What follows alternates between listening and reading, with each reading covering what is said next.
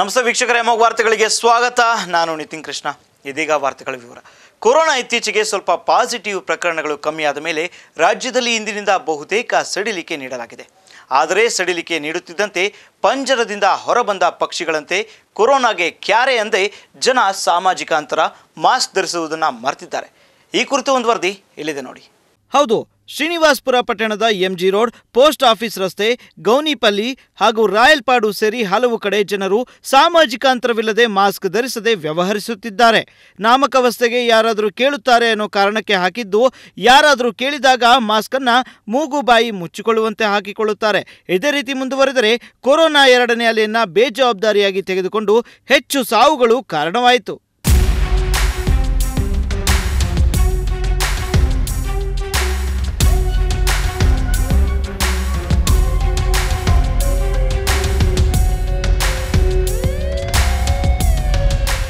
ಈಗ delta plus ಪ್ರಕರಣಗಳು ಹೆಚ್ಚಾಗುತ್ತಿವೆ. ಆದರೂ ಸರ್ಕಾರಿ ಬಸ್ಗಳಲ್ಲಿಯೂ ಪ್ರಯಾಣಿಸುವ ಪ್ರಯಾಣಿಕರು ಮಾಸ್ಕ್ ಧರಿಸುತ್ತಿಲ್ಲ. ಅಂಗಡಿಗಳ ಮುಂದೆ ಗುಂಪು ಗುಂಪು ನಿಂತು ಮಾಸ್ಕ್ ಹಾಕದೆ ಜನರ ಬೇಜವಾಬ್ದಾರಿತನ ಎದ್ದು ಕಾಣುತ್ತದೆ. ಸಂಬಂಧಪಟ್ಟ ಪೊಲೀಸ್ ಇಲಾಖೆ ಅಥವಾ ಗ್ರಾಮ ಪಂಚಾಯಿತಿ ಅಧಿಕಾರಿಗಳು ಇತ್ತ ಗಮನ ಹರಿಸಿ ದಂಡ ವಿಧಿಸಿ ಚುರುಕು ಮುಟ್ಟಿಸಬೇಕಿದೆ. ಇಲ್ಲವಾದಲ್ಲಿ ಮುಂದಿನ ದಿನಗಳಲ್ಲಿ ಲಾಕ್ಡೌನ್ ಹಾಗೂ ಸಾವು ನೋವುಗಳು ನಿಶ್ಚಿತ. ಹರ್ಷವರ್ಧನ, ಅಮೋಕ್ ಟಿವಿ, ಶ್ರೀನಿವಾಸ್ಪುರ. ಜುಲೈ ಮೂರರಂದು ನವಜಾತ ಹೆಣ್ಣು ಶಿಶುವಿನ ಕತ್ತು ಬಿಗಿದು ಕೊಲೆ ಮಾಡಿ ಸಾರ್ವಜನಿಕ ಆಸ್ಪತ್ರೆಯ ಶೌಚಾಲಯದ ಕಿಟಕಿಯಲ್ಲಿ ಕಟ್ಟು ಬಿಟ್ಟಿದ್ದ ಆರೋಪಿಯನ್ನ ಇಂದು ಬೆಳಗ್ಗೆ ಸ್ವಗ್ರಾಮದಲ್ಲಿ ನಗರ ಠಾಣೆ ಪೊಲೀಸರು ಬಂಧಿಸುವಲ್ಲಿ ಯಶಸ್ವಿಯಾಗಿದ್ದಾರೆ. ಆರೋಪಿಗಳನ್ನ ಬಾಗೇಪಲ್ಲಿ ತಾಲೂಕಿನ ಚಾಕವೇಲು ನಿವಾಸಿಗಳಾದ ಮಮತಾ ಮತ್ತು ವೇಣುಗೋಪಾಲ ರೆಡ್ಡಿ ಎಂಬುವವರಾಗಿದ್ದು, ಮಗುವನ್ನ ತಾನೇ ಕೊಲೆ ಮಾಡಿರುವುದಾಗಿ ಒಪ್ಪಿಕೊಂಡಿದ್ದಾಳೆ. ನನಗೆ ಗರ್ಭಧಾರಣೆ ಆಗಿದ್ದರ ಬಗ್ಗೆ ಯಾರಿಗೂ ತಿಳಿಸಿರಲಿಲ್ಲ ಆದರೆ ಇತ್ತೀಚೆಗೆ ಗರ್ಭ ಬೆಳೆಯುತ್ತಿದ್ದಂತೆ ಗಂಡನಿಗೆ ತಿಳಿಸಿದೆ. ಆದ್ದರಿಂದ ಗರ್ಭಧಾರಣೆ ಬಗ್ಗೆ ಮನೆಯವರಿಗೆ ಹೇಳದ ಕಾರಣ ಏಕಾಏಕಿ ಗರ್ಭಧರಿಸಿದ್ದು ಗೊತ್ತಾದರೆ ಅವಮಾನಕ್ಕೆ ಒಳಗಾಗುತ್ತೇನೆ ಎಂದು ಭಯಪಟ್ಟು ಹಾಗೂ ನಮಗೆ ಈ ಮೊದಲೇ ಹುಟ್ಟಿರುವ ಗಂಡು ಮಗುವು ಸಹ ಏಳು ತಿಂಗಳಲ್ಲೇ ಹುಟ್ಟಿದ್ದು. ಈಗಲೂ ಏಳು ತಿಂಗಳಲ್ಲಿ ಹೆಣ್ಣು ಮಗು ಜನಿಸಿದ ಪರಿಣಾಮ ಮಗುವನ್ನ ಕೊಲೆ ಮಾಡಿದೆ ಎಂದು ಮಮತಾ ತಪ್ಪೊಪ್ಪಿಕೊಂಡಿದ್ದಾಳೆ. ಇನ್ನು ಪ್ರಕರಣದ ಸುತ್ತ ಹತ್ತಾರು ಅನುಮಾನಗಳು ಹುಟ್ಟುಕೊಳ್ಳುತ್ತಿದ್ದು, ಆರೋಪಿ ಮಹಿಳೆ ಗರ್ಭಧಾರಣೆ ಹೊಂದಿರುವ ಬಗ್ಗೆ ಪತಿಗೆ ಸೇರಿದಂತೆ ಅತ್ತೆಗೆ ಹಾಗೂ ಆರೋಪಿ ಮಹಿಳೆ ತನ್ನ ಪೋಷಕರಿಗೆ ತಿಳಿಸದಿರುವುದು ಅನುಮಾನಗಳಿಗೆ ಎಡೆಮಾಡಿಕೊಟ್ಟಿದೆ. ಅದು ಅಲ್ಲದೆ ಈ ಹಿಂದೆ ಮಮತಾಳ ಅಕ್ರಮ ಸಂಬಂಧದ ಆರೋಪ ಕೇಳಿಬಂದಿದ್ದರಿಂದ ಹಿಂದೂ ಮಗುವನ್ನ ಕೊಲೆ ಮಾಡಿರಬಹುದು ಎಂದು ಅನುಮಾನಗಳು ಸಹ ಕೇಳಿಬರುತ್ತಿವೆ.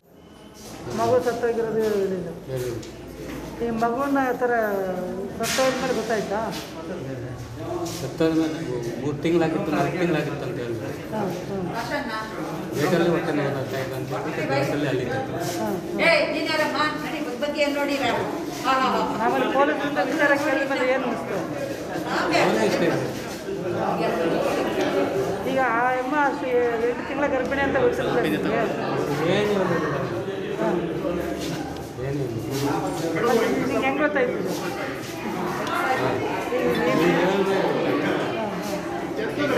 ಒಬ್ಬ ಸಾಮಾನ್ಯ ಮನುಷ್ಯ ಹೇಳಿ ಹೆರಿಗೆ ಆದಮೇಲೆ ಮಗುನ ಈ ಥರ ಸಾಯಿಸ್ತಾರಂತೆ ಸಾಯಿಸಿದ್ರೆ ಅದೇನೋ ಅದು ನಮ್ದೆಲ್ಲ ಏನು ಅವ್ರು ಕೇಳಿ. ಈಗ ಮಗು ನಿಮ್ಮದೇ ಅಲ್ಲ? ಅವ್ರು ಕೇಳಿ ಸರ್. ಯಾರು ನಿಮ್ಮ ಮಿಸಸ್ ನೀವು ಕೇಳಿದವ್ರಿಗೆ ಹೇಳೇ ಇಲ್ಲ ನನಗೆ. ಮೂರು ತಿಂಗಳೇ ನಾಲ್ಕು ತಿಂಗಳು ಈಗ ಆಗಿದೆ ಯಾವುದೇ ಒಬ್ಬ ಮಹಿಳೆ ಗರ್ಭ ತುಂಬುವುದು ಎಂದರೆ ಮನೆಯ ಮಂದಿಗೆಲ್ಲ ಹಬ್ಬದ ವಾತಾವರಣ ಸೃಷ್ಟಿಯಾಗುತ್ತೆ. ಆದರೆ ಇಲ್ಲಿ ಈ ಆಸಾಮಿ ತನಗೆ ಗರ್ಭಧಾರಣೆಯಾಗಿರುವ ಬಗ್ಗೆ ತನ್ನ ಗಂಡನಿಗೂ ಸಹ ತಿಳಿಸದೆ ಇತ್ತೀಚೆಗಷ್ಟೇ ತಿಳಿಸಿರುವುದು ಹಲವು ಅನುಮಾನಗಳಿಗೆ ದಾರಿ ತೋರಿದಂತಾಗಿದೆ. ಇನ್ನು ಜುಲೈ ಮೂರರಂದು ಹೊಟ್ಟೆ ನೋವು ಎಂದು ಗಂಡ ಮತ್ತು ಅತ್ತೆಯೊಂದಿಗೆ ಆಸ್ಪತ್ರೆಗೆ ಬಂದ ಮಮತಾ ಶೌಚಾಲಯದಲ್ಲಿ ಹೆರಿಗೆಯಾಗಿದ್ದನ್ನ ಕಂಡು ಗಂಡನೊಂದಿಗೆ ಹೇಳಿ ಮಗುವನ್ನ ಸಾಯಿಸಿದ್ದಾಳೆ. ಆದ್ದರಿಂದ ಮಗು ಕೊಲೆಯಲ್ಲಿ ಗಂಡನಿಗೂ ಪಾಲು ಇದೆ ಎಂದು ಇಬ್ಬರನ್ನು ಪೊಲೀಸರು ಬಂಧಿಸಿದ್ದಾರೆ. ಶನಿವಾರ ಚಿಂತಾಮಣಿ ಟೌನ್ ಪೊಲೀಸ್ ಠಾಣಾ ವ್ಯಾಪ್ತಿನಲ್ಲಿ ಒಂದು ತ್ರೀ ನಾಟ್ ಟೂ ಪ್ರಕರಣ ದಾಖಲಾಗಿತ್ತು. ಒಂದು ದಿನಕ್ಕಿಂತ ಕಮ್ಮಿ ಇರತಕ್ಕಂಥ ಒಂದು ಹೆಣ್ಮಗುನ ತಾಲೂಕಾ ಆಸ್ಪತ್ರೆ ಬಾತ್ರೂಮಿನ ಕಿಟಕಿನಲ್ಲಿ ಕೊಲೆ ಮಾಡಿ ನೇತಾಕ್ಬಿಟ್ಟು ಹೋಗಿದ್ರು. ಅದ್ರ ಪ್ರಕ, ಅದ್ರ ಪ್ರಕರಣ ದಾಖಲಿಸ್ಕೊಂಡು ಅದ್ರ ಸಂಬಂಧಪಟ್ಟಂತೆ ನಾವು ತನಿಖೆ ಮಾಡಿ ಕೆಲವು C C T V footages ಎಲ್ಲ ಸಿಕ್ಕಿತ್ತು. ನಾನು ನಿಮಗೆ ಲಾಸ್ಟ್ ಟೈಮ್ ಕೂಡ ಹೇಳಿದ್ದೆ ಇಬ್ಬರು ಹೆಣ್ಮಕ್ಳು ಹೋಗ್ತಾ ಇದ್ರು ಅಂತಂದು ಕಾಣ್ತಾ ಇತ್ತು. ಬಟ್ ತನಿಖೆ ಮಾಡಿ ನೋಡಲಾಗಿ. ಆ ಹೆಣ್ಮಗುವಿನ ಅಂದರೆ ಯಾರು ಡಿಸೀಸ್ಡ್ ಬೇಬಿ ಇದೆ. ಅದ್ರ ತಂದೆ ಮತ್ತು ತಾಯಿ ಇಬ್ಬರನ್ನೂ ಇವತ್ತು ಸೆಕ್ಯೂರ್ ಮಾಡ್ಕೊಂಡಿದ್ದೀವಿ. ಚಾಕ್ವೇಲ್ ಅಂತ ನಮ್ಮ ಚೇಳೂರು ತಾಲೂಕು ಲಿಮಿಟ್ಸ್ನಲ್ಲಿ ಬರ್ತದೆ. ಅಲ್ಲಿ ಅವರು ಅಕ್ಯೂಸ್ಡ್ ಅಂತಂದು ಗೊತ್ತಾಗಿದೆ? ಅವರಿಬ್ಬರೂ ತಂದೆ ತಾಯಿ ಇಬ್ಬರೂ ನಾವು ಈಗಾಗಲೇ ವಶಕ್ಕೆ ಪಡಗಿಸ್ಕೊ ಪಡ್ಕೊಂಡಿದ್ದೀವಿ. ಅವ್ರು ಹೇಳೋ ಪ್ರಕಾರ ನಾವು ಅಲ್ಲಿ ಹೊಟ್ಟೆ ನೋವು ಅಂತಂದ್ಬಿಟ್ಟು ಆಸ್ಪತ್ರೆಗೆ ಬಂದ್ವಿ. ಆನಂತರ ಬಾತ್ರೂಮ್ನಲ್ಲಿ ಈ ರೀತಿ ಆಯಿತು ಅಂತಂದ್ಬಿಟ್ಟು, ಅಂದರೆ ಡೆಲಿವರಿ ಆಯಿತು. ಅದಾದ ನಂತರ ಇಮಿಡಿಯೇಟ್ ನಾವು ಆ ರೀತಿ ಕಿಟಕಿನಲ್ಲಿ ಅಲ್ಲೊಂದು ಪಕ್ಕದಲ್ಲಿ ಹಗ್ಗ ಇತ್ತು. ಅದಕ್ಕೆ ಕಟ್ಬಿಟ್ಟು ಹಾಕಿದ್ವಿ ಅಂತಂದು ಹೇಳ್ತಾರೆ. ಅದನ್ನು ನಾವು ತನಿಖೆ ಮಾಡ್ತಾ ಇದ್ದೀವಿ ಈಗ. ಅದು ಏಳು ತಿಂಗಳಾಗಿತ್ತಾ, ಏನು ಎತ್ತ ಅಂತಂದ್ಬಿಟ್ಟು ಡಾಕ್ಟ್ರು ಒಪಿನಿಯನ್ ತೊಗೊಳ್ತಾ ಇದ್ದೀವಿ. ಡಾಕ್ಟ್ರು ಹೇಳ್ತಾರೆ, ಎಷ್ಟು ದಿನದ್ದು ಪ್ರೆಗ್ನೆನ್ಸಿ ಅದು ಏನು ಆಯ್ತಾ? ಅಂತಂದು. ಅದ್ರ ಪ್ರಕ ಅದರ ಸಂಬಂಧಪಟ್ಟಂತೆ ನಾವು ತನಿಖೆನ ಮುಂದುವರಿಸ್ತೀವಿ. ಏನು ಹಿನ್ನೆಲೆ ಏನಿಲ್ಲ ಕ್ರಿಮಿನಲ್ ಬ್ಯಾಕ್ಗ್ರೌಂಡ್ ಏನಿಲ್ಲ. ಒಂದು ಆರು ವರ್ಷದ ಮಗು ಈಗಾಗಲೇ ಇದೆ ಅವರಿಬ್ಬರಿಗೂ ಕೂಡ. ಇದು ಎರಡನೇ ಪ್ರೆಗ್ನೆನ್ಸಿ ಅದೇ ತ್ರೀ ನಾಟ್ ಟು ಪ್ರಕರಣ ದಾಖಲಾಗಿತ್ತು. ಅದರ ಆರೋಪಿಗಳನ್ನ ಬಂಧಿಸಿದ ಪೊಲೀಸರು ಇಂದು ನಗರದ ಆಸ್ಪತ್ರೆಯ ಬಳಿ ಮಹಾಜರು ಮಾಡಿ ಮಹಿಳೆಯ ಬಳಿ ಹೇಳಿಕೆಯನ್ನು ಪಡೆದು ಪ್ರಕರಣ ಮುನ್ನಡೆಸಿದ್ದಾರೆ. ವೆಂಕಟಾಚಲಪತಿ, ಅಮೋಕ್ ಟಿವಿ, ಚಿಂತಾಮಣಿ. ತಾಲೂಕಿನ ಹತ್ತು ದಿನಗಳ ಕಾಲ ಫಸಲ್ ಬಿಮಾ ಯೋಜನೆಯ ಸಮಗ್ರ ಮಾಹಿತಿ ಪ್ರತಿ ಗ್ರಾಮದ ಎಲ್ಲ ರೈತರಿಗೂ ತಲುಪುವಂತೆ ಮಾಡಬೇಕಾಗಿದೆ. ಹೀಗೆಂದು ಕೃಷಿ ಸಹಾಯಕ ನಿರ್ದೇಶಕ ಹನುಮಂತರಾಜು ತಿಳಿಸಿದರು. ಪಟ್ಟಣದಲ್ಲಿರುವ ರೈತ ಸಂಪರ್ಕ ಕೇಂದ್ರದಲ್ಲಿ ಇಂದು ಫಸಲ್ ಬಿಮಾ ಯೋಜನೆಯ ಸಮಗ್ರ ಕೃಷಿ ಮಾಹಿತಿ ರಥಯಾತ್ರೆಗೆ ಚಾಲನೆ ನೀಡಿ ಅವರು ಮಾತನಾಡುತ್ತಾ, ತಾಲೂಕಿನ ಕೃಷಿ ಇಲಾಖೆ, ಅರಣ್ಯ ಇಲಾಖೆ, ಪಶುಪಾಲನಾ ಇಲಾಖೆ, ತೋಟಗಾರಿಕಾ ಇಲಾಖೆ, ರೇಷ್ಮೆ ಇಲಾಖೆ ಹೀಗೆ ಎಲ್ಲ ಇಲಾಖೆಗಳ ಸಹಯೋಗದೊಂದಿಗೆ ರೈತರು ಬೆಳೆದ ಬೆಳೆ ಸರಿಯಾಗಿ ಬಾರದೇ ಇರುವ ಕಾರಣ ಅಂತಹ ರೈತರು ನಷ್ಟ ಅನುಭವಿಸಬಾರದು ಎಂದು ಪ್ರಧಾನಮಂತ್ರಿ ಫಸಲ್ ಬಿಮಾ ಯೋಜನೆಯ ಸದುದ್ದೇಶವನ್ನು ತಾಲೂಕಿನ ಎಲ್ಲ ರೈತರಿಗೂ ತಿಳಿಸುವ ಅನಿವಾರ್ಯತೆ ಇದೆ ಎಂದರು. ಒಂದು ಅದು ಪರ್ಮನೆಂಟ್ ಅದು.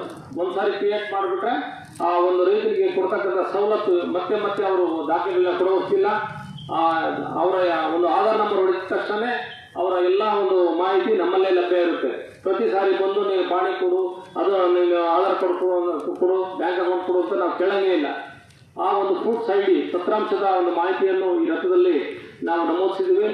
ಎಲ್ಲಾನು ಸೇರಿ ಒಟ್ಟಾರೆ ಪ್ರಚಾರ. ಈಗ ಇಲ್ಲಿಂದ ಪ್ರತಿಯೊಬ್ಬ ರೈತರಿಗೂ ಗುರುತಿನ ಚೀಟಿಯನ್ನು ಇಲಾಖೆಯಿಂದ ನೀಡುತ್ತೇವೆ. ಈ ಚೀಟಿ ಹೊಂದಿದ್ದರೆ ಸಾಕು. ಪ್ರತಿ ಬಾರಿಯೂ ವಿಮೆ ಮಾಡಿಸುವಾಗ ಮತ್ತು ಇಲಾಖೆಗೆ ಸಂಬಂಧಪಟ್ಟ ದಾಖಲೆ ನೀಡುವಾಗ ಆಧಾರ್ ಕಾರ್ಡ್, ವೋಟರ್ ಐ ಆಗಲಿ ಅಥವಾ ಸಣ್ಣ ಹಿಡುವಳಿದಾರರ ಯಾವುದೇ ದಾಖಲೆಯಾಗಲಿ ಪ್ರತಿ ಬಾರಿ ಅವಶ್ಯಕತೆ ಇರುವುದಿಲ್ಲ. ಒಂದು ಬಾರಿ ನೋಂದಣಿ ಮಾಡಿದರೆ ಪ್ರತಿ ಬಾರಿ ಅದು ನಿರಂತರವಾಗಿ ಚಾಲ್ತಿಯಲ್ಲಿರುತ್ತೆ ಎಂದರು.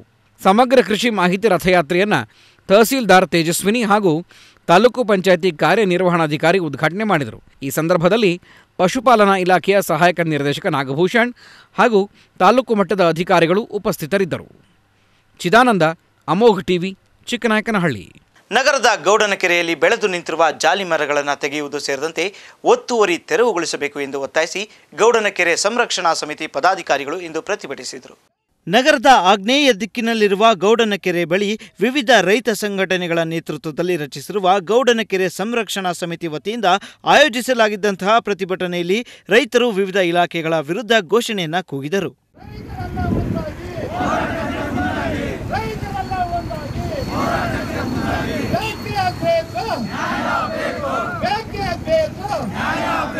ರೈತ ವಿರೋಧಿ ಸರ್ಕಾರಕ್ಕೆ ಧಿಕ್ಕಾರ ಧಿಕ್ಕಾರ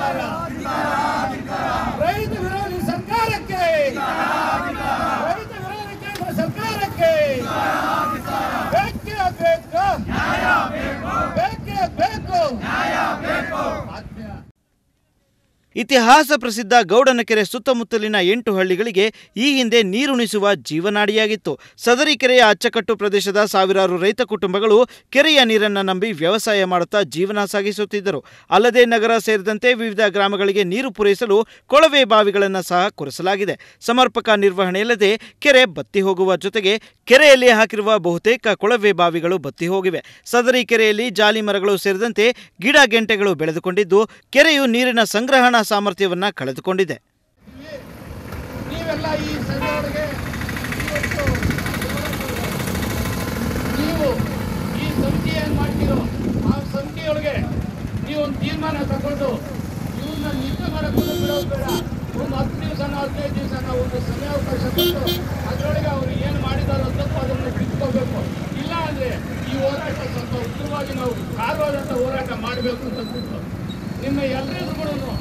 ನಾನು ರೈತ ನಾಯಕ ಪ್ರೊಫೆಸರ್ ನಂಜುಂಡಸ್ವಾಮಿ ಸ್ಥಾಪಿತ ಕರ್ನಾಟಕ ರಾಜ್ಯ ರೈತ ಸಂಘದ ರಾಜ್ಯಾಧ್ಯಕ್ಷನಾಗಿ ನನ್ನ S D G B Narayanaswamy ಇದನ್ನ ನಾವು ಯಶಸ್ಸು ಹಣವರೆಗೂ ನಾವು ಇದನ್ನು ಬಿಡೋದು ಬೇಡ ಅಂತ ಅಂದ್ಬಿಟ್ಟು ಇವತ್ತು ನಿಮ್ಮ ಹೆಸರನ್ನು ನಾನು ಪ್ರತಿಜ್ಞೆ ಮಾಡಿ ರೈತ ಕಲಬರಿಗೆ ರೈತ ಹೋರಾಟಕ್ಕೆ ತಾಲೂಕಿನ ಆನೂರು ಗ್ರಾಮ ಪಂಚಾಯಿತಿ ವ್ಯಾಪ್ತಿಯ ಗೌಡನಕೆರೆಯಲ್ಲಿ ಬೆಳೆದು ನಿಂತಿರುವ ಜಾಲಿ ಮರಗಳನ್ನು ತೆಗೆಸುವಂತೆ ಪಂಚಾಯಿತಿಯಲ್ಲಿ ವಿಚಾರಿಸಿದರೆ, ಇದು ಕಿರು ನೀರಾವರಿ ಇಲಾಖೆಗೆ ಸೇರಿದ ಕೆರೆ ಎಂದು ಅಲ್ಲಿ ವಿಚಾರಿಸಿದರೆ, ಇದು ಈಗಾಗಲೇ ಅರಣ್ಯ ಇಲಾಖೆಗೆ ವರ್ಗಾಯಿಸಲಾಗಿದೆ ಎಂಬ ಉತ್ತರ ಕೇಳಿ ಆತಂಕವನ್ನುಂಟು ಮಾಡಿದೆ. ಸದರಿ ಕೆರೆಯನ್ನು ಅನ್ಯ ಇಲಾಖೆಗೆ ವರ್ಗಾಯಿಸುವ ಸಂದರ್ಭದಲ್ಲಿ ಸ್ಥಳೀಯ ಪಂಚಾಯಿತಿ ಮತ್ತು ಅಚ್ಚುಕಟ್ಟು ಪ್ರದೇಶದ ಯಾವುದೇ ರೈತರ ಗಮನಕ್ಕೆ ತಾರದೆ ಗ್ರಾಮಸಭೆಯಲ್ಲಿ ಚರ್ಚಿಸದೆ ಕೆರೆಯನ್ನು ಅರಣ್ಯ ಇಲಾಖೆಗೆ ನೀಡಿರುವುದು ಸಂವಿಧಾನ ಬಾಹಿರವಾಗಿದೆ. ಸಮುದಾಯದ ಆಸ್ತಿಯನ್ನ ನಿರ್ವಹಿಸುವಲ್ಲಿ ನಿರ್ಲಕ್ಷ್ಯ ತರುವ ಜೊತೆಗೆ ಕೆರೆ ವ್ಯಾಪ್ತಿಯಲ್ಲಿ ಜಾಲಿ ಮರಗಳನ್ನು ಬೆಳೆಸುವ ಮೂಲಕ ಅರಣ್ಯ ಇಲಾಖೆ ಲೋಪವೆಸಗಿದೆ. ಈ ಒಂದು ರೈತರ ಹೋರಾಟಕ್ಕೆ ಬಂದಂಥ ಎಲ್ಲ ರೈತ ಸಂಘಟನೆಗಳು ನಮ್ಮ ಚಿಕ್ಕಬಳ್ಳಾಪುರ ಜಿಲ್ಲಾ ಎ ಸಿ ಆಗಿರ್ತಕ್ಕಂಥ ಅರುಣ್ ಅವರು ಒಂದು ಈ ಒಂದು ಸ್ಥಳಕ್ಕೆ ಭೇಟಿ ಕೊಟ್ಟಂಥ ಸಂದರ್ಭದಲ್ಲಿ ನಮ್ಮ ಮನವಿಗೆ ಹೂಗೊಟ್ಟು ಅವರು ಈ ಗೌಡನಕೆರೆ ಸುಮಾರು ಇನ್ನೂರೈವತ್ತು ಎಕರೆ ಪ್ರದೇಶದಲ್ಲಿ ಈ ಗಿಡ ಗಂಟೆಗಳು ಬೆಳೆದು ಜಲೆ ಮರಗಳು ಬೆಳೆದು ಈಗಾಗಲೇ ಹಾಳು ಮಾಡಿದಂಥ ಈ ಒಂದು ಸಣ್ಣ ನೀರಾವರಿ ಇಲಾಖೆಯ ಸಣ್ಣತನದಿಂದ ಅದು ಅರಣ್ಯ ಇಲಾಖೆಗೆ ವರ್ಗಾವಣೆ ಆಗಿರ್ತದೆ. ಆ ಒಂದು ವಿಚಾರವಾಗಿ ಇವತ್ತು ನಾವು ಇಲ್ಲಿ ಚಿಕ್ಕನಾಡದಲ್ಲಿ ಒಂದು ಬೃಹತ್ತಾದ ಒಂದು ಆಂದೋಲನ ಕಾರ್ಯಕ್ರಮ ಇಟ್ಕೊಂಡಾಗ ಇವತ್ತು ನಮಗೆ ನಮ್ಮ ಗಮನಕ್ಕೆ ತಂದಂಥ ನಮ್ಮ ಎ ಸಿ ಸಾಹೇಬರು ನಿಮಗೆ ಒಂದು ತಿಂಗಳ ಒಳಗಾಗಿ ಈ ಒಂದು ಜಾಲಿಮರಗಳನ್ನು ತೆರವುಗೊಳಿಸ್ತೀವಿ ಅಂತೇಳಿ ಆದೇಶ ಕೊಟ್ಟಿದ್ದಾರೆ. ಅದಕ್ಕೆ ನಾವು ಸ್ವಾಗತ ಮಾಡುತ್ತಾ ಅವರೇನಾದರೂ ಮುಂದಿನ ದಿನಗಳಲ್ಲಿ ಒಂದು ತಿಂಗಳೊಳಗೆ ಅವ್ರೇನು ಜಾಲಿಮರ ತೆಗೆದೇ ಹೋದ ಪಕ್ಷದಲ್ಲಿ ನಾವು ಕೆರೆಯಲ್ಲಿ ಸಹ ಹಗಲು ನಾವು ಭೇಟಿ ಮಾಡೋಕ್ಕೆ ಸಹ ಸಿದ್ಧರಾಗಿರ್ತೇವೆ. ಅದಕ್ಕೂ ಅವರೇನು ಬಗ್ಗದೇ ಹೋದ ಪಕ್ಷದಲ್ಲಿ ನಾವು ಮುಂದಿನ ದಿನಗಳಲ್ಲಿ ಕಾನೂನು ಹೋರಾಟಕ್ಕೆ ತಯಾರಾಗಿದ್ದೇವೆ ಅಂತೇಳಿ ಈ ಒಂದು ಅವರಿಗೆ ತಿಳುವಳಿಕೆ ಹೇಳಿ ಕೈ ಕಳಿಸಿದ್ದೇವೆ. ಅವರ ಈ ಒಂದು ಸಂದರ್ಭದಲ್ಲಿ ಬಂದು ಅವ್ರು ಹೇಳಿದ್ದಕ್ಕೆ ನಾವು ಅವ್ರಿಗೂ ಸಹ ಧನ್ಯವಾದ ಹೇಳ್ತೇವೆ ನಮ್ಮ ಆಸುಪಾಸಿನ ರೈತರು ಅವರ ಸಮಸ್ಯೆಗಳನ್ನು ಗಮನಕ್ಕೆ ತಂದಾಗ ಇದನ್ನ ಏನಾದರೂ ಮಾಡಬೇಕು ಅಂತೇಳಿ ನಾವೊಂದು ನಾಲ್ಕೈದು ಜನ ಸ್ನೇಹಿತರ ನಾವು ಮಾತಾಡ್ಕೊಂಡ್ವಿ. ಆಗ ಗ್ರಾಮ ಪಂಚಾಯಿತಿಯ ಸದಸ್ಯರಾದಂಥ ನಮ್ಮ ಆನೂರಿನ ದೇವರಾಜು, ಬೆಳ್ಳೂಟಿಯ ಸಂತೋಷು ಮತ್ತು ಆನೂರು ಗ್ರಾಮ ಪಂಚಾಯಿತಿಯ ಉಪಾಧ್ಯಕ್ಷರು ಅವರು ಕೂಡ ಗಮನಕ್ಕೆ ನಾವು ತಂದಿವಿ. ಈಗಾಗಲೇ ಇದೆಲ್ಲ ಪ್ರೋಸೆಸ್ ಈ ರೀತಿ ಆಗೈತೆ.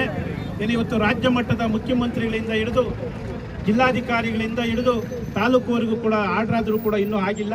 ಏನಾದರೂ ಮಾಡಬೇಕು ಅಂತೇಳಿ ನಾವು ಎರಡು ತಿಂಗಳ ಹಿಂದೆ ಸ್ನೇಹಿತ ದೇವರಾಜ್ ಅವರಿಗೆ ಸಲಹೆಯನ್ನು ಕೊಟ್ಟು ಒಂದು ಮನವಿ ಮಾಡಿ ಅಂತ. ಯಾಕೆ ಈ ಸಂದಿಗ್ಧ ತಮಗೆ ಮಾಹಿತಿ ಕೊಡ್ತವೆ ಅಂದರೆ ನಾವು ಇದರ ಪ್ರೋಸೆಸ್ ಆಗಿ ವಿಶೇಷ ಅಧಿಕಾರಿಯನ್ನು ಫಾರೆಸ್ಟ್ ಅಧಿಕಾರಿಯನ್ನು ನಾವು ನೇಮಿಸ, ನೇಮಕ ಮಾಡಲಿಕ್ಕೆ ಭಾಳ ಪ್ರಯತ್ನವನ್ನು ಮಾಡಿದ್ವಿ. ಆ ಪ್ರಯತ್ನದ ಫಲ ನೇಮಕ ಆಗಿತ್ತು. ಈಗಾಗಲೇ ಹಿಂದೆ ನಾವು ಎಚ್ ಎನ್ ವ್ಯಾಲಿ ವಿಚಾರದಲ್ಲಿ ಅಮ್ಮನಕೆರೆಯಲ್ಲಿ ಗಿಡಗಳನ್ನು ಹೊಡೆದಂಥ ಸಂದರ್ಭದಲ್ಲಿ ನಾನು ಕೂಡ ಅವರ ಜೊತೆಯಲ್ಲಿ ಮೂರು ವರ್ಷಗಳ ಕಾಲ ಕೇಸು ಹಾಕಿ ನಾನು ಕೂಡ ಹೋದಂಥ ಸಂದರ್ಭದಲ್ಲಿ ಏನಾದರೂ ಮಾಡಿ ಜಿಲ್ಲೆಗೆ ಸಂಪೂರ್ಣವಾಗಿ ಮನವಿ ಸ್ವೀಕರಿಸಿದ ಉಪವಿಭಾಗಾಧಿಕಾರಿ ರಘುನಂದನ್ ಮಾತನಾಡಿ, ಮುಂದಿನ ಒಂದು ತಿಂಗಳೊಳಗೆ ಕೆರೆಯಲ್ಲಿ ಬೆಳೆದು ನಿಂತಿರುವ ಜಾಲಿ ಮರಗಳನ್ನು ತೆಗೆಯುವ ಜೊತೆಗೆ ಕೆರೆ ಒತ್ತುವರಿ ಮಾಡಿರುವವರನ್ನು ತೆರವುಗೊಳಿಸಲಾಗುವುದು. ಇದರ ಜೊತೆಗೆ ಜಿಲ್ಲೆಯಾದ್ಯಂತ ನೀಲಗಿರಿ ತೆರವುಗೊಳಿಸಲು ಸಹ ಕ್ರಮ ಕೈಗೊಳ್ಳಲಾಗುವುದು ಎಂದರು. ಪ್ರಪೋಸಲ್ ರೆಡಿ ಇದೆ. ನಾಳೆ ಅವ್ರಿಗೆ ಕಳಿಸ್ಕೊಡ್ತಾ ಇದೀವಿ ಒಂದು ತಿಂಗಳು ಟೈಮ್ ಆಗುತ್ತಂತೆ. ತಿಂಗಳು ಟೈಮ್ ಆಗುತ್ತಂತೆ ಅಲ್ಲಿ ಡಿಸೈಡ್ ಆಗೋದು. ಒಂದು ತಿಂಗಳು ಟೈಮ್ ಆಗುತ್ತೆ. ನಾನು ಇವತ್ತು ಎಲ್ಲರೂ ನಿಮ್ಮ ಈ ಇದು ಮುಂದೆ ಹೇಳ್ತಾ ಇದ್ದೀನಿ. ಒಂದು ತಿಂಗಳಲ್ಲಿ ಅಲ್ಲಿ ಫಾರೆಸ್ಟ್ ಸೆಟಲ್ಮೆಂಟ್ ಆದ ತಕ್ಷಣ ಇಮ್ಮಿಡಿಯೇಟ್ಲಿ ನಾವು ಎಂ ಐ ಅವರಿಗೆ ನಮ್ಮ ನಾಳೆ, ಈ ವೀಕಲ್ಲೇ ನಾನು ಡಿ ಸಿ ಮೇಡಮ್ಗೆ ಹೋಗ್ಬಿಟ್ಟು ಹೇಳ್ತೀನಿ. ಈ ವೀಕಲ್ಲೇ ಮೀಟಿಂಗ್ ಕರೆಸಿ. ಎಂ ಐ ಅಲ್ಲಿ ಅಲ್ಲಿ ಫಾರೆಸ್ಟ್ ಸೆಟಲ್ಮೆಂಟ್ ಆಫೀಸರ್ ಸೆಟ್ ಆದ ತಕ್ಷಣ, ಅದು ಆರ್ಡರ್ ಆದ ತಕ್ಷಣ ಫಸ್ಟು ಈ ಜಾಲಿ ಮರಗಳನ್ನ ತೆಗಿಯೋಕ್ಕೆ ಒಂದು ತಿಂಗಳಲ್ಲಿ ಅವ್ರು ಟೈಮ್ ಕೇಳಿದ್ದಾರೆ ಅದಾದ ತಕ್ಷಣ ಇಮಿಡಿಯೇಟ್ಲಿ ತೆಗಿಸ್ತೀವಿ ಒಂದು ತಿಂಗಳಲ್ಲಿ ಅದು ಆರ್ಡರ್ ಆದ ತಕ್ಷಣ ಇಮಿಡಿಯೇಟ್ಲಿ ಪ್ರಯಾರಿಟಿ ಬೇಸಿಸ್ ಮೇಲೆ ಇದು ತೆಗಿಸ್ತೀವಿ. ಒಂದು. ಎರಡನೇದು ಬಂದ್ಬಿಟ್ಟು ಈಗ ಈ ಒತ್ತುವರಿದು ಎಲ್ಲ ಕೇಳಿದ್ರಿ ಫಸ್ಟು ಈ ಜಾಲಿಗೆ ಮರಗಳೆಲ್ಲ ಫಸ್ಟ್ ತೆಗೆದುಬಿಡೋಣ ಕ್ಲಿಯರ್ ಆಗಿ ಐಡಿಯಾ ಬರುತ್ತೆ ಏನಾಗಿದೆ, ಏನು ಏನು ಅಂತ. ನಾನೇ ಇರ್ತೀನಿ. ಸೊ ರೆವಿನ್ಯೂ ನಮ್ಮ ಡೈರೆಕ್ಟ್ ಕಂಟ್ರೋಲಲ್ಲಿ ಇರುತ್ತೆ. ಬೇರೆದೆಲ್ಲ ಇಂಡೈರೆಕ್ಟ್ ಇದ್ರೆ ನಮ್ಮ ರೆವಿನ್ಯೂ ಡೈರೆಕ್ಟ್ ಕಂಟ್ರೋಲಲ್ಲಿ ಇರುತ್ತೆ. ಅದು ತೆಗೆದ ತಕ್ಷಣ ಇಮ್ಮಿಡಿಯೇಟ್ಲಿ ಎಷ್ಟೆಷ್ಟಿದೆಯೋ ಎಲ್ಲ ಇದು ಮಾಡೋಣ ಎಲ್ಲ ಇದು ಮಾಡಿಬಿಟ್ಟು ಯಾವ್ಯಾವ ಒತ್ತುವರಿಗಳಿದೆ ಎಲ್ಲ ಕಂಪ್ಲೀಟ್ ಕಲಿಸೋಣ ಓಕೆ ಎರಡನೇದು. ಮೂರನೇದು ಇವರು ಬೇರೆ ಕೆರೆಗಳಿಗೂ ಇದಿದೆ ಇಶ್ಯೂ ಅಂತ ಹೇಳಿದ್ರು. ಬೇರೆ ಕಡೆ ಇಲ್ಲಿ ಈ ತಾಲೂಕಲ್ಲಿರೋ ಬೇರೆ ಕೆರೆಗಳು, ಬೇರೆ ಕೆರೆಗಳಲ್ಲಿನೂ ಜಾಲಿ ಮರಗಳು ಸಂಪೂರ್ಣವಾಗಿ ಬೆಳೆದಿದೆ. ಸೊ ಇದೊಂದೇ ಅಲ್ಲ, ಎಲ್ಲ ಕಡೆ ಸಮಸ್ಯೆ ಇದೆ ಅಂತ ಹೇಳಿದ್ದಾರೆ. ಸೊ ಅದನ್ನು ನಾವು ಪ್ರಯಾರಿಟಿ ಬೇಸಿಸ್ ಮೇಲೆ ತಗೊಂತೀವಿ. ನಾಲ್ಕನೇದು ನಾನು ಏನು ಹೇಳಕ್ಕೆ ಇಷ್ಟಪಡ್ತೀನಿ ಅಂದರೆ ನಾವು ನೀಲಗಿರಿ ಮರಗಳದು ಭಾಳ ದೊಡ್ಡ ಮಟ್ಟದಲ್ಲಿ ತಗೊಂಡಿದ್ವಿ. ಕೆಲವು ದಿನ ತುಂಬ ಆಯಿತು ಲಾಸ್ಟ್ ಇಯರ್ ಈ ಕರೋನಾ ಬಂದಾಗಿಂದ ಕಂಪ್ಲೀಟ್ ನಿಂತೋಗಿದೆ. ಜಗದೀಶ್ ಬಾಬು ಅಮೋಕ್ ಟಿವಿ ಶಿಡ್ಲಘಟ್ಟ. ಮುಜರಾಯಿ ಇಲಾಖೆಯ ಎ ಗ್ರೇಡ್ ಶ್ರೇಣಿಯ ಗೊಲ್ಲಹಳ್ಳಿ ಆಂಜನೇಯ ದೇವಾಲಯ ದರ್ಶನಕ್ಕೆ ಮುಕ್ತವಾಗಿದೆ. ಕೋವಿಡ್ ನೈನ್ಟೀನ್ನಿಂದ ಇಡೀ ರಾಜ್ಯವೇ ಲಾಕ್ಡೌನ್ ಆಗಿತ್ತು. ಇಂದಿನಿಂದ ಅನ್ಲಾಕ್ ಆಗಿದೆ. ಈ ಹಿನ್ನೆಲೆಯಲ್ಲಿ ಬೆಂಗಳೂರು ಹೊರವಲಯ, ನೆಲಮಂಗಲ ತಾಲೂಕಿನ ದೇವಾಲಯಗಳು ದರ್ಶನಕ್ಕೆ ಮುಕ್ತವಾಗಿದೆ. ನೆಲಮಂಗಲ ಗ್ರಾಮಾಂತರ ಭಾಗದ ಮುಜರಾಯಿ ಇಲಾಖೆಯ ಎ ಗ್ರೇಡ್ ಶ್ರೇಣಿಯ ರೈಲ್ವೆ ಗೊಲ್ಲಹಳ್ಳಿಯಲ್ಲಿರುವ ಇತಿಹಾಸ ಪ್ರಸಿದ್ಧ ಶ್ರೀ ಬೈಲಾಂಜನೇಯ ದೇವಾಲಯ ದರ್ಶನಕ್ಕೆ ಮುಕ್ತವಾಗಿದೆ. ಮುಜರಾಯಿ ಇಲಾಖೆ ದೇವಾಲಯವಾದ್ದರಿಂದ ಸರ್ಕಾರದ ಯೋಜನೆಗಳಿಗೆ ಒಳಪಡುವ ಗೊಲ್ಲಹಳ್ಳಿ ಆಂಜನೇಯ ದೇವಾಲಯದ ಬೆಳಗ್ಗೆಯೇ ದೇವಾಲಯ ಆವರಣ ಸ್ವಚ್ಛತೆಯಾಗಿದೆ. ಕೋವಿಡ್ ಹಿನ್ನೆಲೆ ದರ್ಶನಕ್ಕೆ ಮಾತ್ರ ಅವಕಾಶ ನೀಡಲಾಗಿದ್ದು, ಮಂಗಳಾರತಿ ತೀರ್ಥ ಪ್ರಸಾದ ವಿತರಣೆ ಇಲ್ಲ ಎಂದು ಪ್ರಧಾನ ಅರ್ಚಕರಾದ ವಸಂತ್ ಕುಮಾರ್ ಹಾಗೂ ಪಾರಪತ್ತೆದಾರ ಶ್ರೀನಿವಾಸ್ ತಿಳಿಸಿದರು.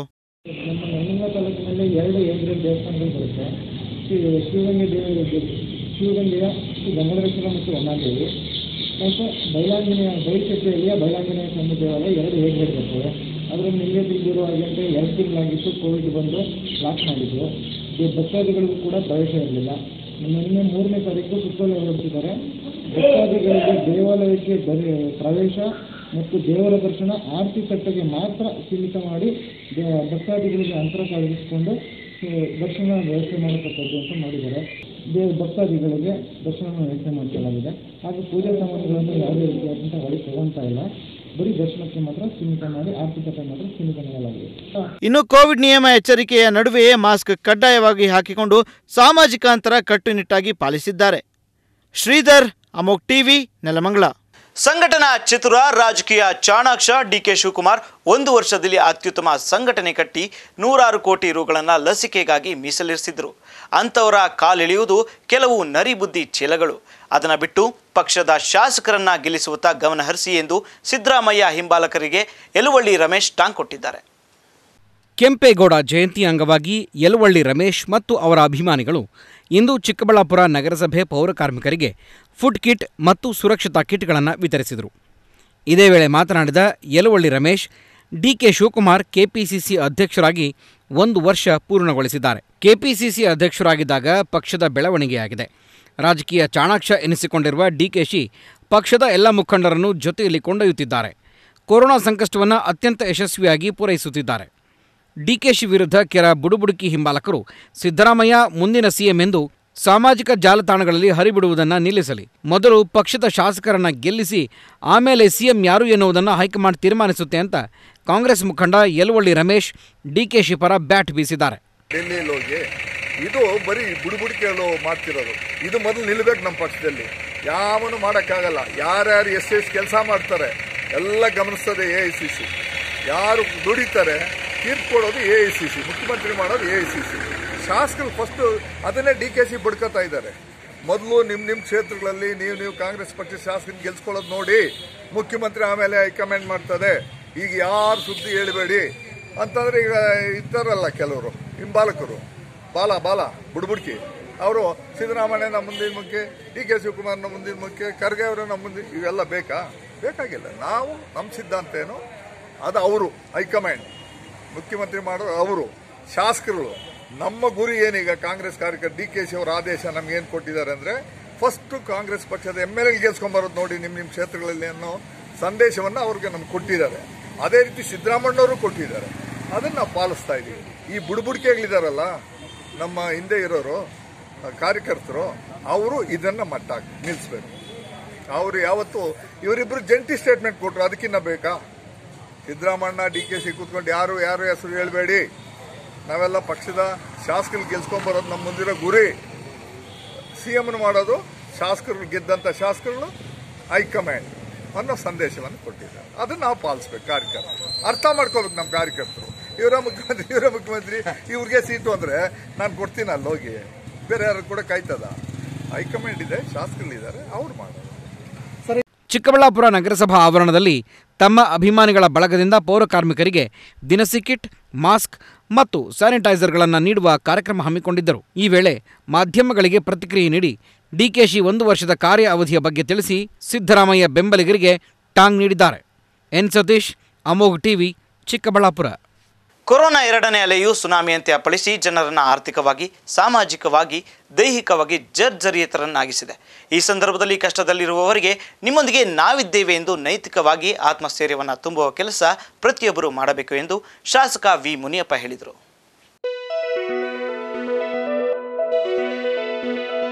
ನಗರದ ಶ್ರೀ ವೇಣುಗೋಪಾಲ ಸ್ವಾಮಿ ದೇವಾಲಯದ ಆವರಣದಲ್ಲಿ ಸೋಮವಾರ ಕರ್ನಾಟಕ ರಾಜ್ಯ, ಕಟ್ಟಡ ಮತ್ತು ಇತರೆ ಕಾರ್ಮಿಕರ ಕಲ್ಯಾಣ ಮಂಡಳಿ ವತಿಯಿಂದ ಆಯೋಜಿಸಲಾಗಿದ್ದ ಕೋವಿಡ್ ನೈನ್ಟೀನ್ ಸಂಕಷ್ಟದಲ್ಲಿರುವ ಕಟ್ಟಡ ಮತ್ತು ಇತರೆ ಕಾರ್ಮಿಕರಿಗೆ ಆಹಾರ ಸಾಮಗ್ರಿಗಳ ಕಿಟ್ ವಿತರಣೆ ಕಾರ್ಯಕ್ರಮದಲ್ಲಿ ಭಾಗವಹಿಸಿ ಮಾತನಾಡಿದರು.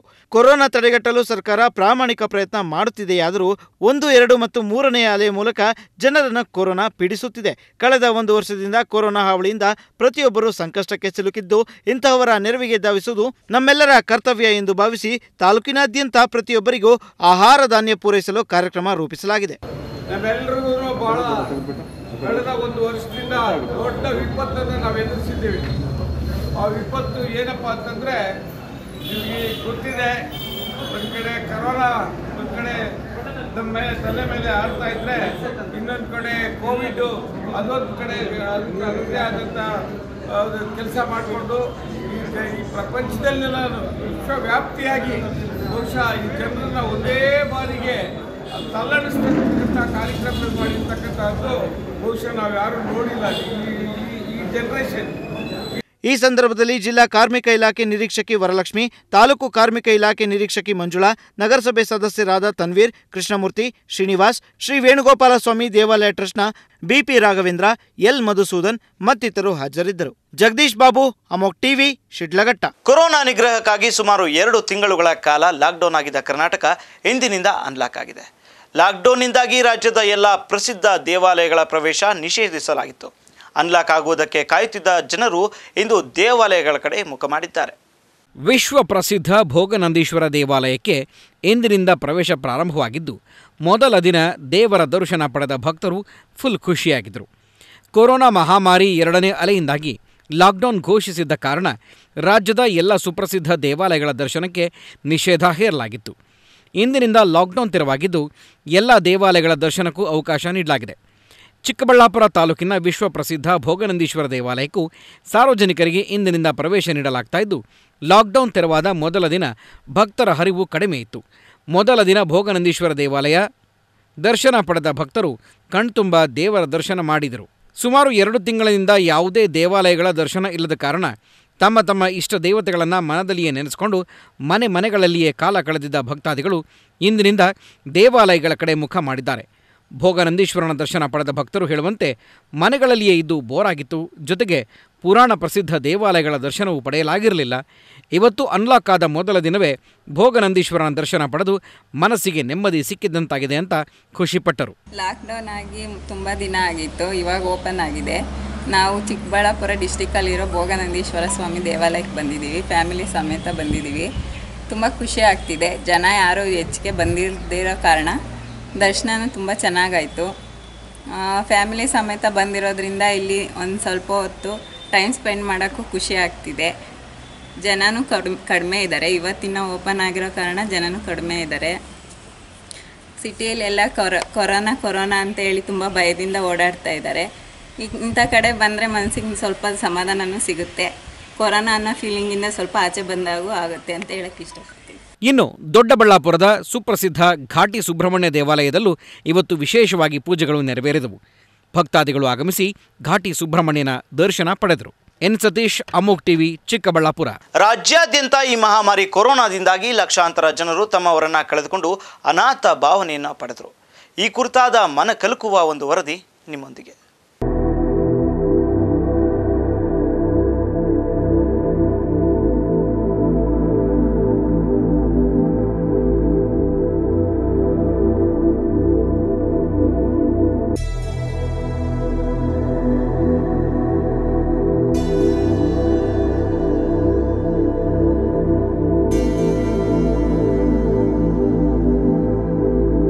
ಕೊರೋನಾ ಎರಡನೇ ಅಲೆ ತಾಲೂಕಿನಲ್ಲಿ ಬಿರುಗಾಳಿ ಎಬ್ಬಿಸಿತು.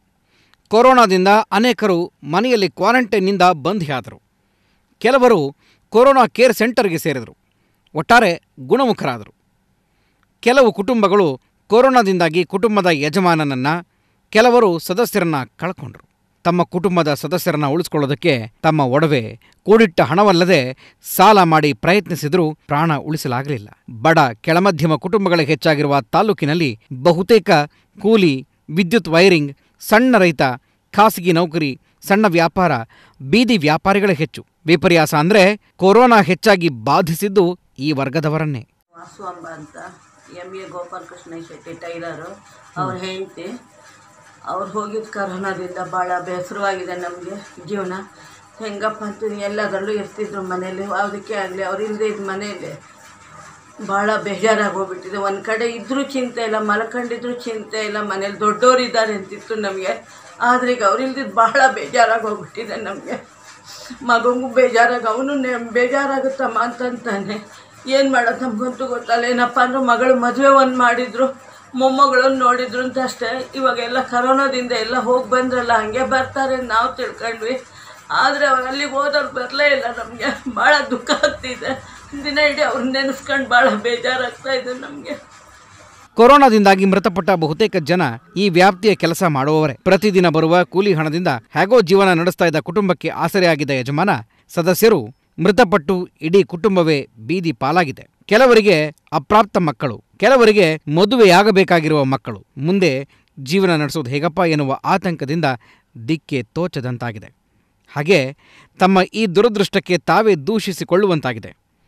ಮನೆಯ ಹಿರಿಯರು ಮಾರ್ಗದರ್ಶಕರು ಆಗಿದ್ದ ಅನೇಕ ಹಿರಿಯ ಜೀವಿಗಳನ್ನು ಸಹ ಈ ಕೊರೋನಾ ಹೆಮ್ಮಾರಿ ಬಲಿ ತೆಗೆದುಕೊಂಡಿದೆ ಕೂಲಿ ಕೂಲಿ ಕೆಲಸನೇ ಜೀಪ್ ಸರ್ ಹ್ಮ್. ಜೀಪು ಹೋಗ್ತಿದ್ರು ಹ್ಞೂ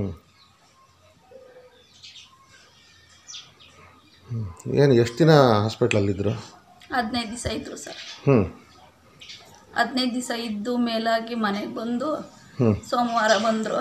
ತಿರ್ಗಿ ಮಂಗಳವಾರ ಹುಷಾ ಉಸಿರಾಡೋಕ್ಕಾಗಲ್ಲ ಅಂತ ತಿರ್ಗಿ ಮತ್ತೆ ಆಸ್ಪತ್ರೆಗೆ ಹೋದ್ರು. ಹ್ಞೂ ಅಲ್ಲಿ ಉಸಿರಾಡೋಕ್ಕಾಗಲ್ಲ ಅಂತ ಹ್ಞೂ ಅವರು ಪ್ರಯತ್ನ ಪಟ್ಟಿದ್ದಾರೆ ಆಸ್ಪತ್ರೆಯಲ್ಲಿ. ಹ್ಞೂ ಆಗಿಲ್ಲ. ಮುಂದೆ ನಿಮ್ಮ ಮುಂದಿನ ಇದು ಏನು ಮಾಡಬೇಕು ಅಂತಿದ್ದೀರಾ? ಏನು ಮಾಡೋದು ಸರ್? ಮೂವರು ಮಕ್ಕಳು. ಹ್ಞೂ ಎಷ್ಟು ಎಷ್ಟು ವಯಸ್ಸಮ್ಮ ಮಕ್ಕಳಿಗೆ? ಒಬ್ಬರಿಗೆ ಹನ್ನೊಂದು ವರ್ಷ ಸರ್. ಹ್ಞೂ ಇನ್ನೊಬ್ರಿಗೆ ಎಂಟು ವರ್ಷ. ಒಬ್ರಿಗೆ ಆರು ವರ್ಷ. ಹ್ಞೂ ಇದು ಕರ್ನಾಟಕ ರಾಜ್ಯದ ಒಂದು ಸಣ್ಣ ತಾಲೂಕಿನ ದುರಂತ ಕಥೆ. ಜೀವನದಲ್ಲಿ ನೊಂದಿರುವ ಇವರು ಮೃತರಾದವರ ನೆನಪಿನಲ್ಲಿ ಸಂಕಟ ಪಡಬೇಕೆ ಹೊರತು ಮುಂದೆ ನಮ್ಮ ಜೀವನ ಹೇಗಪ್ಪ ಎಂದು ಸಂಕಟ ಪಡಬಾರದ ರೀತಿ ಸರ್ಕಾರ ನಡೆದುಕೊಳ್ಳಬೇಕು. ದೇವರಿಂದ ನನಗೆ ಎರಡು ಸಾವಿರ ರೂಪಾಯಿ ಮಾತ್ರ ಸಂಬಳ ಕೊಡ್ತಾ ಇದ್ದಾರೆ. ಅದರಿಂದ ನಾನು ಜೀವನ ಮಾಡಿ ಹಾಗೂ ನಮ್ಮ ತಾಯಿಯವರು ನಮ್ಮ ತಾಯಿಯವರ ಪೆನ್ಷನ್ ಸಹ ನಮಗೆ ನನಗೆ ಕೊಡ್ತಾಯಿದ್ರು ಆದ ಕಾರಣ ಅದರಿಂದ ಅದು ಅದು ದೇವಾಲಯದ ಬರ್ತಕ್ಕಂಥ ದುಡ್ಡು, ದುಡ್ಡಿನಿಂದ ನಾನು ಶುರು ಮಾಡ್ತಾಯಿದ್ದೆ ಇದು ಇದು ಮಾಡಿಕೊಂಡು ನಾನು ಜೀವನ ನಡೆಸ್ತಾ ಇದ್ದೆ. ಈಗ ಒಂದೊಂದು ಒಂದು ತಿಂಗಳ ಕೆಳಗಡೆ ನಮ್ಮ ತಾಯಿ ಕರೋನಾ ಇದರಿಂದ ಆಸ್ಪತ್ರೆಯಲ್ಲಿ ಕಾಲವಾದರು. ಆ ಕಾಲವಾದ ದಿವಸ ಅಲ್ಲಿಂದ ನಾವು ನಮ್ಮ ಆಸ್ಪತ್ರೆಯಲ್ಲಿ ನಮ್ಮ ತಾಯಿಯವ್ರನ್ನ ಕರೋನಾ ಅಂತ ಮಾಡಿ ಸೇರಿಸಿದ್ವಿ ಕರೋನಾ ಇದರಿಂದ ನಮ್ಮ ತಾಯಿಯವರು ಕಾಲುವಾಗಿ ಹೋದರು ಕಾಲುವಾಗಿ ಕಾರಣ ಅವತ್ತು ಕಾಲುವಾದಾಗ ನಮಗೆ ನಮ್ಮ ತಾಯಿಯವರ ಕಾರ್ಯ ಕಾರ್ಯಗಳನ್ನು ಮಾಡಲು ನಮಗೆ ಸಾಧ್ಯ ಆಗಿಲ್ಲ. ಬಹಳ ನಾವು ತುಂಬ ಕಷ್ಟದಲ್ಲಿದ್ದೀವಿ. ಇವಾಗ ನೀವು ತಾವು ಜನಪರ ಎನ್ನುವ ಸರ್ಕಾರ, ಪರೋಪಕಾರಿ ಎನ್ನುವ ಸಂಘ ಸಂಸ್ಥೆಗಳು ಇಂತಹವರ ಬೆನ್ನಿಗೆ ನಿಲ್ಲಬೇಕಾಗಿದೆ. ನಮಗೆ ಒಬ್ಬ ಸ್ನೇಹಿತರಾಗಿದ್ದರು ನಮ್ಮ ಕುಟುಂಬಕ್ಕೆ ತುಂಬ ಆಸರೆಯಾಗಿದ್ದರು ನಮ್ಮ ನಾವು ಅವರನ್ನು ಕಳ್ಕೊಂಡು ತುಂಬ ದುಃಖದಲ್ಲಿದ್ದೀವಿ. ನಮ್ಮ ಮನೆಯಲ್ಲಿ ನಮಗೆ ನಮ್ಮ ಮನೆಯಲ್ಲಿ ನಮಗೆ ಬೆನ್ನೆಲುಬು ಥರ ಇದ್ದರು ಅವರಿಗೆ ನಮ್ಮ ತಂದೆ ಥರ ಇರಲಿಲ್ಲ. ನಮಗೆ ಎಲ್ಲದರಲ್ಲೂ, ಎಲ್ಲ ಕಷ್ಟದಲ್ಲೂ ಅವರಿಲ್ಲದೆ ನನ್ನ ನಾನು ಅನಾಥನ ನಾವೆಲ್ಲ ನಮ್ಮ ಕುಟುಂಬದವರೆಲ್ಲ ಅನಾಥರಾಗ್ಬಿಟ್ಟಿದ್ದೀವಿ. ಅವರು ಒಂದು ಕಲೆ ಕಲೆಗಾರರು. ಒಳ್ಳೆ ಭಜನೆ ಮಾಡ್ತಾಯಿದ್ರು ಒಳ್ಳೆ ಇದು ಆರೋಗ್ಯವಾಗಿದ್ದರು ಈ ಕರೋನಾ ಎಂ ಆರ್ ಇಂದ ಅವರನ್ನು ಕಳ್ಕೊಂಡಿದ್ದೀವಿ. ನಾವು ಶೋಕ ಸಾಗರದಲ್ಲಿ ಮುಳುಗೋಗಿದ್ದೀವಿ. ಕೇವಲ ಕೆಲವು ದಿನಗಳಿಗಾಗುವ ಆಹಾರದ ಕಿಟ್ಗಳನ್ನು ಕೊಟ್ಟರೆ ಯಾವುದೇ ಪ್ರಯೋಜನ ಇಲ್ಲ. ನೊಂದವರ ನೋವಿಗೆ ಶಾಶ್ವತ ಧ್ವನಿಯಾದರೆ ಮಾತ್ರ ನಿಜವಾದ ಜನಸೇವೆ ಮಾಡಿದಂತಾಗುತ್ತೆ. ಅಲ್ಲಿ ಹಾಸ್ಪಿಟ್ಲ್ ಬಾಗೇಪಲ್ಲಿ ಹಾಸ್ಪಿಟ್ಲ್ಗೆ ರವೀಂದ್ರ ಹತ್ರ ಮೂರು ದಿವಸ ಹೋದ್ರೂ ಅಲ್ಲಿ ಕಮ್ಮಿನೇ ಆಗಲಿಲ್ಲ. ಅಲ್ಲಿ ಒಂದು ಹತ್ತು ಸಾವಿರ ಆದ್ರೂ ಖರ್ಚು ಮಾಡಿರ್ತೀವಿ. ಮತ್ತೆ ಅಲ್ಲಿಂದ ಬಂದು ಇಲ್ಲಿ ಅಕ್ಷಯ್ ಸಾರ್ ಅಂತಿದ್ದಾರೆ. ಅವ್ರ ಹತ್ರ ತೋರಿಸಿದ್ವಿ ಪ್ರೈವೇಟಲ್ಲಿ ಅಲ್ಲಿನೂ ಒಂದು ಇಪ್ಪತ್ತು ಸಾವಿರ ಹತ್ರವರೆಗೂ ಖರ್ಚು ಮಾಡಿದ್ವಿ. ಅಲ್ಲಿನೂ ಕಮ್ಮಿ ಆಗಲಿಲ್ಲ. ಮತ್ತು ಗೌರ್ಮೆಂಟ್ ಹಾಸ್ಪಿಟ್ಲಲ್ಲಿ ಅಡ್ಮಿಟ್ ಮಾಡು ಅಂತ ಹೇಳಿದ್ರು. ಮಾಡಿದ್ವಿ.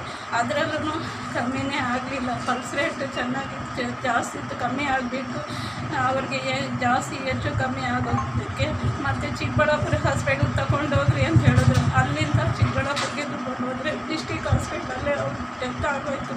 ನಮ್ಮ ಯಜಮಾನ್ರು ಬಿಟ್ಟರೆ ನಮ್ಗೆ ಯಾರು ಇಲ್ಲ, ಯಾರು ಏನು ಮಾಡೋದು ಇಲ್ಲ, ಏನಿಲ್ಲ. ನೀವೇನು ನಮ್ಮ ಸಹಾಯ ಮಾಡಬೇಕು. ವಿ ರಾಜಶೇಖರ್ ಅಮೋಕ್ ಟಿವಿ, ಗುಡಿಬಂಡೆ. ಇದಿಷ್ಟು ಇವತ್ತಿನ ಪ್ರಮುಖ ಸುದ್ದಿಗಳಾಗಿದ್ವು. ಮತ್ತಷ್ಟು ಪ್ರಮುಖ ಸುದ್ದಿಗಳೊಂದಿಗೆ ನಿಮ್ಮ ಮುಂದೆ ಬರ್ತೀವಿ. ಅಲ್ಲಿವರೆಗೂ ನೋಡ್ತಾ ಇರಿ, ಇದು ಅಮೋಕ್ ಟಿವಿ. ಎಂದೆಂದಿಗೂ ನಿಮ್ಮೊಂದಿಗೆ ಹಾಗೂ ಅಮೋಕ್ ಟಿವಿ ಯೂಟ್ಯೂಬ್ ಚಾನಲನ್ನು ಸಬ್ಸ್ಕ್ರೈಬ್ ಮಾಡಿ.